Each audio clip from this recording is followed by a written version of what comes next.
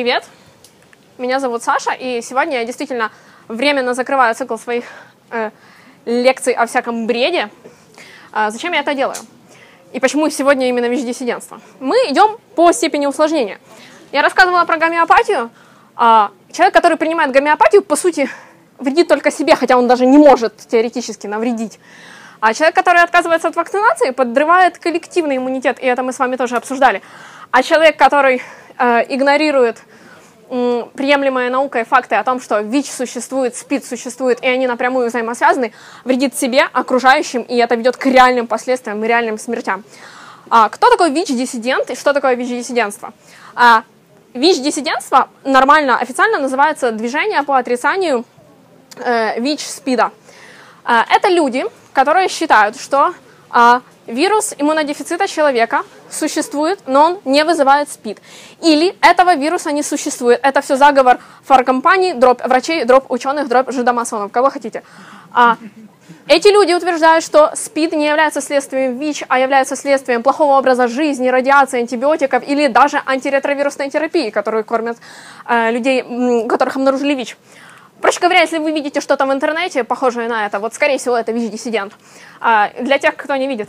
Господи, пусть горят в аду те мрази, которые пытались назначить антиретровирусную терапию мне и моему неродившемуся ангелочку. Интересно, почему он не родился? Господи, покарай тех, кто придумал страшную мистификацию 20 века под названием ВИЧ.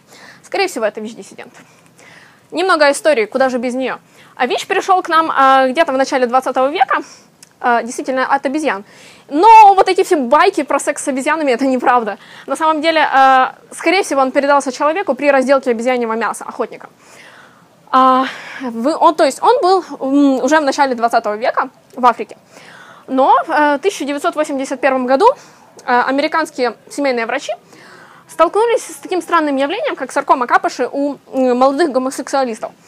Почему это странно? Э, такое заболевание, как саркома капыши, она это опухоль, которая развивается только у пожилых людей, как бы с нормальным иммунитетом. То есть и все случаи этой саркомы, они были описаны только-только у людей пенсионного возраста. И тут вдруг приходит косяк молодых э, людей, практикующих гомосексуальные отношения, с вот такими штуками. И это было очень странно. А также у э, некоторой группы молодых людей таких э, была так называемая пневмоцистная пневмония. Это оппортунистическое заболевание. Что такое оппортунистическое заболевание?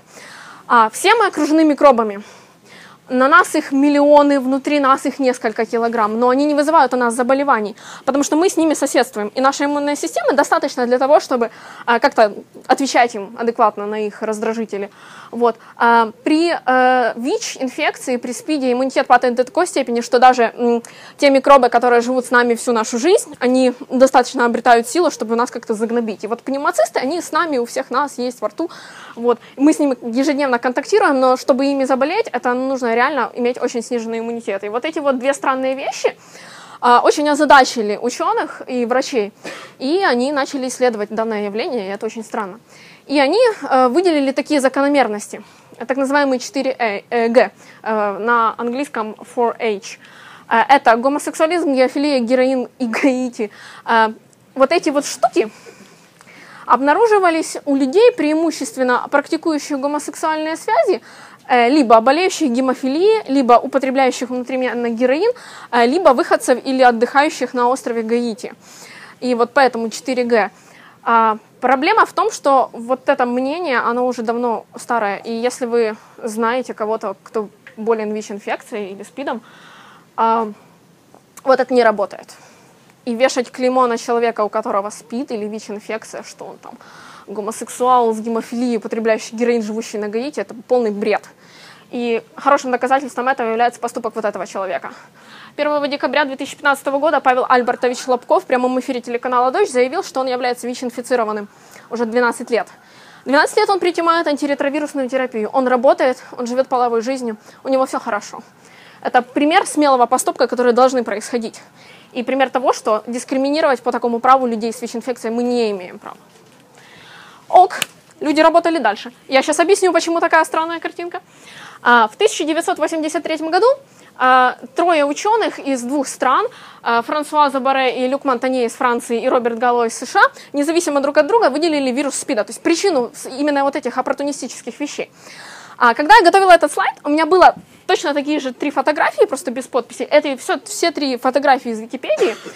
А, но потом я наткнулась на эту прекрасную картинку и решила заменить. Смотрите, врагов нужно знать в лицо. Именно эти люди стояли у истоков мистификации 20 века СПИД. Цель данной мистификации – депопуляция населения планеты и деньги. Мне очень нравится вот эта приписка возле Роберта Галу. То есть они еще и какие-то там... Вот это важно, он еврей, это вот надо красными буквами написать. А, цимис данной ситуации состоит в том, что в 2008 году французы получили Нобелевскую премию за открытие вируса СПИДа. А, а Роберту Гало ее не дали. И Люк Монтанье в своей Нобелевской речи, он так вот яростно говорил, ну как же так, мы же независимы друг от друга, ну почему? Но премией не поделился. Вот. А одним из аргументов э, ВИЧ-диссидентов является то, что э, э, вирус ВИЧ, э, вот они так в спорах в интернете говорят, а ты видел? Ты видел вирус ВИЧ? Ну, как-то так. На самом деле нет. Вот. И даже нет. Вот так он выглядит. И знаете, к чему вот этот весь цирк? А, скажите, есть ли в зале люди, которые сомневаются в существовании вируса гриппа? Или в том, что грипп существует? И какая к черту разница, как выглядит это страшное заболевание? Как будто это действительно важно. А, также одним из аргументов в пользу того, что ВИЧ вызывает СПИД, э, является его полное соответствие так называемым постулатам Коха. А что это такое? Это первый постулат. Эпидемиологические ассоциации. У людей, которые болеют СПИДом, и у людей, у которых есть симптомы ВИЧ-инфекции, выделяется вирус ВИЧ, вирус иммунодефицита человека. Изоляция. Возбудителя можно выделить и изолировать. Это можно сделать. И передающийся патогенез. Это значит, что если мы выделили возбудителя, э, если кто-то ним заразился, это будет течь по одинаковой схеме. Э, вот. И примером вот этого третьего постулата является очень грустный случай про лабораторию, которая работала с э, одним из самых опасных штаммов ВИЧ-1. И они случайно его вот проконтактировали, с ним освободили и позаражались несколько людей вот реально ВИЧем. Классный пример, грустный, но хороший. Также одним из аргументов ВИЧ-диссидентов является то, что э, теста иммуноферментного анализа для установления диагноза ВИЧ недостаточно. Э, это правда, и поэтому он не делается один. Во-первых, ИФА делается несколько раз. Во-вторых, даже все три раза или два, минимум нужно два положительные, проводится все равно иммуноблотинг или ПЦР-реакция. ПЦР-реакция – это выделение ДНК или РНК вируса. Глупость сказала. РНК, конечно, это РНК-вирус. А, и также есть э, экспресс-методы в районе 100-200 гривен, похожие на тест на беременность. Можете сами купить, я дома сделать, без проблем. А, на самом деле, чтобы поставить диагноз ВИЧ инфицированного, ВИЧ положительного человека, нужно много обследоваться, а не просто сделать один раз инфа и все. Вот. А, окей, мы подползаем ближе к данному явлению, и я для себя выделила несколько причин, а почему люди, собственно, отрицают то, что вроде как отрицать не нужно. Действительно, никому не приходит в голову отрицать существование вируса гриппа или полиомиелита, там, или краснухи, но почему-то вот вокруг СПИДа очень много всяких терок. Э, и вот э, первые две причины, как по мне, это биологические, а вторые две психологические. Давайте с ними разберемся. А вот эта аббревиатура, она означает высокоактивная антиретровирусная терапия. Это принятая общемировая аббревиатура, которая обозначает комплекс препаратов для лечения э, ВИЧ. Суть в том, чтобы э, снизить количество вируса в крови человека. Чем меньше вирусная нагрузка, так называемая, тем больше э, иммунная система поддерживает свой высокий уровень, тем дольше, то есть вот Лобков, он 12 лет, он нормально, он не болеет, у него нет симптомов никаких, у него там минимальная какая-то вирусная нагрузка. Вот. Но э, спекуляции ВИЧ-диссидентов вокруг препарата Зидовудин, он же э, АЗТ препарат, вот Далласский клуб покупателей, кто смотрел, э, они часто утверждают, что э, происходит какая ситуация. Приходит человек, сдает кровь, там, ИФА, ему говорят ВИЧ+, плюс, проводят обследование, отправляют в спеццентр. Там ему говорят, да, вы ВИЧ положительный, вам нужно принимать вот эти препараты. И они говорят, что м, чем дольше человек принимает антиретровирусную терапию, тем сильнее у него нарастают э, симптомы ВИЧ, инфекции, и в конце концов развивается СПИД. То есть СПИД является причиной не того, что это вирус разрушает иммунную систему, а именно приема препаратов. А, скорее всего, эта спекуляция связана именно с препаратом зидовудином, потому что это был самый, самый первый препарат, которым пытались лечить ВИЧ. А, он в 1987 году появился и имел массу побочных эффектов, хотя действительно достоверно снижал уровень вирусной нагрузки у пациентов. Вот. Он сейчас практически не применяется. Сейчас есть очень много классных, суперских препаратов, которые в фиксированных дозах, там тысячи схем, они каждый год пересматриваются, потому что ну, это важная проблема. И э, у них практически нет побочных эффектов. Я не могу утверждать, что их нет, но они по сравнению с зидобудином намного меньше. Но почему-то об этом ВИЧ-диссиденты часто забывают. Вот. Также есть такая вообще вот кайфовая вещь. Это резистентность к ВИЧ-инфекции. Это просто перфетто. Значит, э, есть определенное количество людей. Э, здесь на карте вот чем синее, тем меньше их. Именно поэтому такая распространенность ВИЧ в Африке и в Азии, потому что у них низкая резистентность. А есть группа людей, у которых есть мутация в гене CCR5. Этот ген кодирует белочек э, на Т-лимфоците, а Т-лимфоцит это именно та клетка, которую атакует вирус иммунодефицита. И если у них есть эта мутация, на этой клетке чуть-чуть изменен белок. И ВИЧ не может уже присоединиться к Т-лимфоциту. Таким образом, а, сколько бы такой человек не контактировал с вирусом иммунодефицита человека, он никогда не заболеет. Это реально есть. И процент э, в Украине э, вот, людей с такой мутацией, он приблизительно равен 10-12%. То есть с большой вероятностью сейчас в зале сидит может даже несколько людей, которые полностью резистентны к ВИЧ-инфекции. И это можно узнать, можно сделать, протестировать себя. Также э, мутация может быть э, гомозиготной и гетерозиготной. При гетерозиготной мутации резистентность к ВИЧ не полная, но она значительно снижена. И поэтому, а, именно поэтому ВИЧ-инфекция у людей протекает по-разному. Некоторые через 1-2 года уже появляются первые симптомы, а некоторые 15-17 лет ходят, у них вообще нет никаких симптомов, никаких жалоб, абсолютно ничего, они не болеют. Это тоже связано именно вот с этой мутацией и как бы вводит заблуждение о том, что а, ВИЧ протекают по-разному, значит, это не ВИЧ. Вот. А теперь перейдем к психологическим причинам. А, как мне кажется, а, происходит вот что. Вот представьте себе, я обладаю просто очень богатым воображением, и я моментально ставлю себя на место другого человека. А вы беременная женщина, например. А вы приходите в женскую консультацию, а для того, чтобы встать на учет женскую консультацию, нужно обязательно протестироваться на ВИЧ. Вы делаете ИФА, а, и вам пишут ВИЧ положительный результат. Ваш доктор звонит вам домой и говорит, вам нужно к инфекционисту. Инфекционист делает вам еще несколько раз и говорит, да, действительно ВИЧ+, плюс, вам нужно поехать в спеццентр. Вы ждете ребенка, вы паникуете, вы знаете о том, что ВИЧ это э, ВИЧ-инфекция страшная, неизлечимая болезнь, ведущая к СПИДу, и вообще какой-то капец, боже, что же мне делать, как же мне ребенка-то родить? А, вы едете в спеццентр, вам-то проводят там ПЦР или иммуноблотинг, а, и говорят, да, действительно, вы ВИЧ-инфицирована, вам нужно лечиться. Э, и женщина полностью опустошенная приезжает домой и начинает гуглить. Первое, что делает человек. И на шестой ссылке в Гугле по запросу ВИЧ является группа э, ВИЧ-отрицателей. И смотрите, она читает пять ссылок. Она читает Википедию, она читает там еще какие-то специализированные сайты, юнисефовские, например. И там как бы, ну, там все плохо, да, не лечится, там все вообще печально. А на шестой ссылке ей говорят, а ВИЧа-то нет, и СПИДа нет – и вообще это все мистификация и обман, чтобы бабла заработать, срубить на нас несчастных и депопуляризировать население.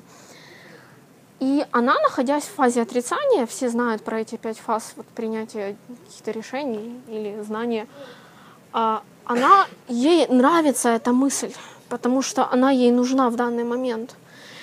И вот ты сидишь и такой, ё-моё, блин, я так хочу в это поверить, мне это необходимо. И это вот тупо психологический момент, из которого людей надо вытаскивать. Потому что они попадают в эту ловушку, и проблема заключается не в том, что человек просто перестает лечиться. Человек рассказывает всем, что это мистификация, он отговаривает лечение других.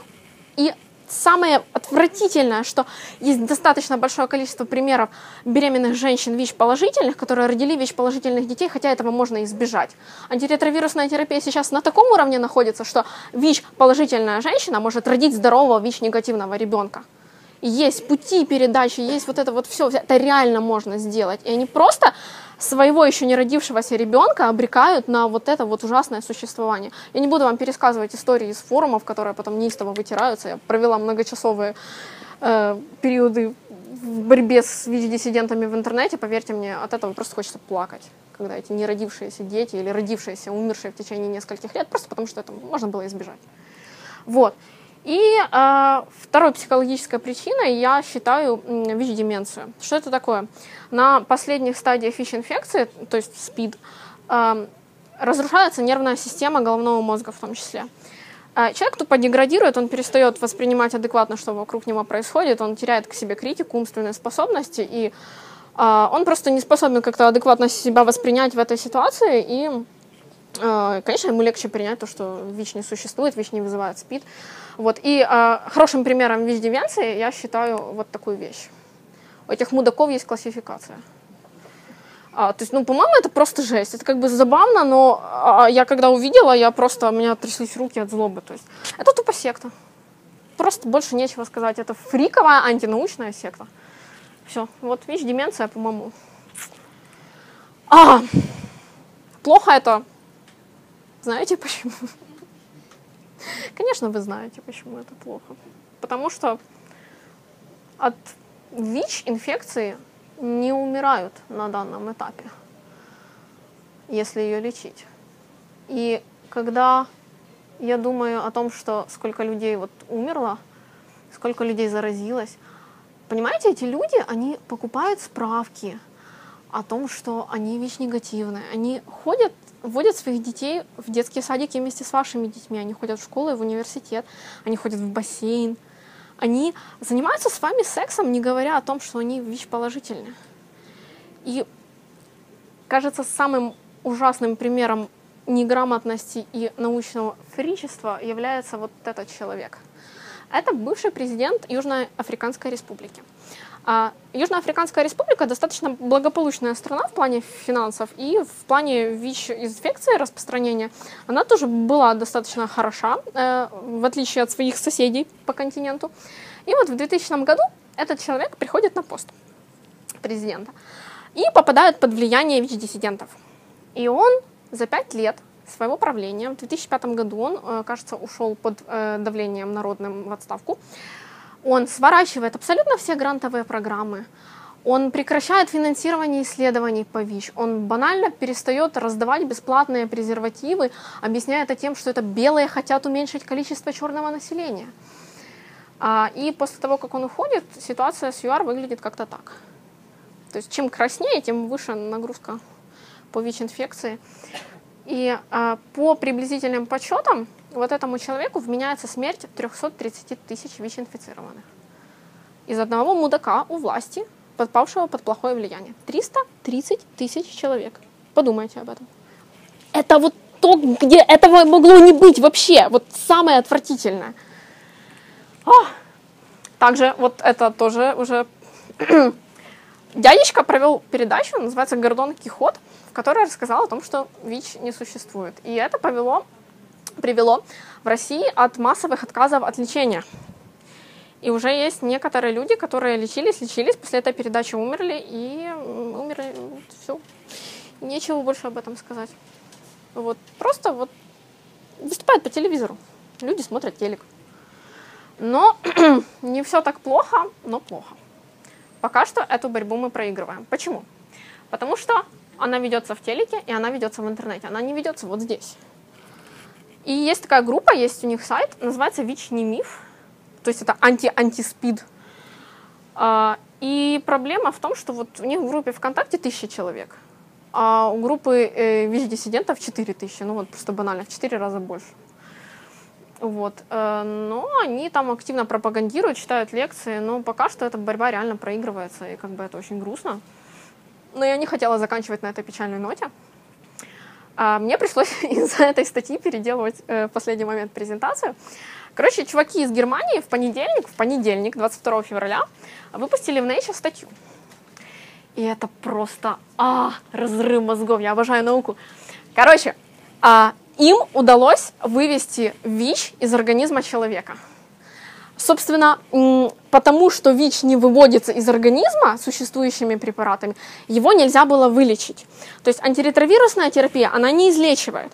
Она просто снижает вирусную нагрузку, соответственно, снижает симптомы, повышает уровень иммунитета, и как бы все нормально, но это все равно хронически, каждый день человек пьет таблетки на всю жизнь. А чуваки добились того, что э, вирус СПИДа можно полностью элиминировать из крови, и как бы вот все, его нет. И это как бы ставит э, э, проблему излечения СПИДа, вот до нее уже рукой можно практически дотянуться. То есть это уже какое-то ближайшее будущее, это, это так круто, это вот лично мне так выносят мозги, просто класс, я не знаю. А вот эти чудаки ВИЧ-диссиденты, они доказывают, что этого всего не надо. И что? И мне кажется, а, вот такие штуки, они приводят нас а, а, к ситуации из мультика Гриффины, если кто-то смотрел. А, Там есть серия, где они попали в будущее. Квагмайер, выходя из э, дома своей любовницы очередной, у него пиликает какой-то там, не знаю, прибор в кармане, он вытаскивает и говорит, «М, опять заразился спидом, надо принять колдрекс антиспид. И вот это вот оно, вот, вот оно уже здесь. И это реально то, что наше будущее. И вот эти козлы все портят. Зачем? А, я, кажется, уже закончила. Э, И я желаю вам традиционно здоровья, вдохновения и здравомыслия. И, пожалуйста, никогда не ведитесь на такие вещи. Это неправда.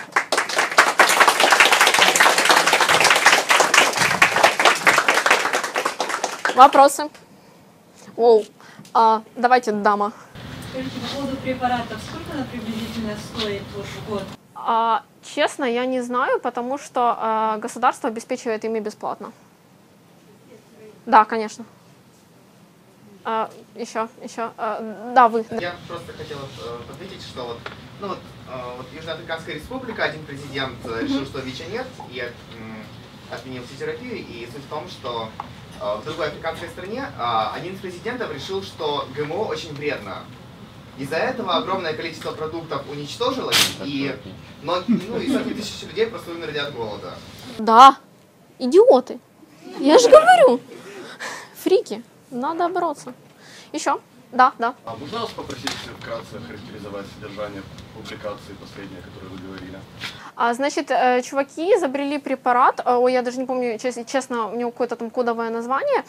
А, Суть в том, что это, это типа такая типа вакцина, которая именно... э, Почему так получилось? А До последнего момента, буквально в 2015 году, только узнали э, именно точный механизм проникновения вируса в ядро. И на основании этих публикаций они придумали э, штуку, которая э, э, репарировала ДНК, и вытаскивала его просто. То есть он э, выходил, а он не может размножаться помимо Т-лимфоцитов, еще некоторых количеств клеток. То есть если вот, допустим, вот как происходит, собственно, у людей с метацией в CCR5, э, вирус попадает в кровь.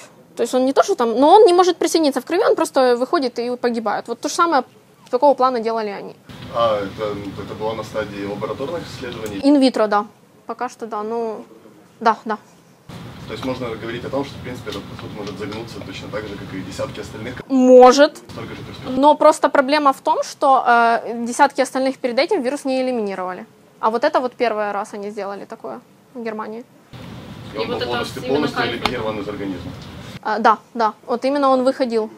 Что-что? Название статьи, кажется, было немножко другое, но не суть. А, да, ну, может Там было про изоляцию, то есть клеточная линия инвитро, а об организме там ни слова не было. Вот. Но они как бы утверждают в теле статьи, что они выводили, ну, как бы элиминировали инвитро вирус. Да. Из Т-лимфоцитов. Нет. А, да, у нас время, кажется. Ребят, у нас да, просто время. Если у вас останется вопрос к Саше, то Всегда рад. да, в перерыве. Спасибо.